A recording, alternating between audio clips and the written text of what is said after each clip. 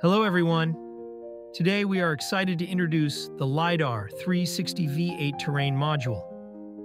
In version 8, the Terrain Module comes with several new features and deliverables. For instance, the Relative Elevation Model, which emphasizes river formations and highlights erosion features, can be used for hydrological monitoring and flood control planning. It also includes flood analysis, which allows the calculation of affected areas, water accumulation volumes, and the number of impacted buildings. These capabilities, combined with earlier features such as drainage line analysis, offer comprehensive support for hydrological applications. Additionally, the module now supports viewshed analysis, ideal for planning, design, and ecological studies, as well as sky view factor analysis.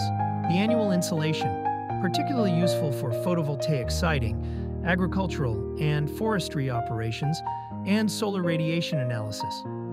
We've got comprehensive terrain and GIS analysis functions, along with a variety of output formats. This module provides rich and versatile support for your business needs. We invite you to download and experience it today.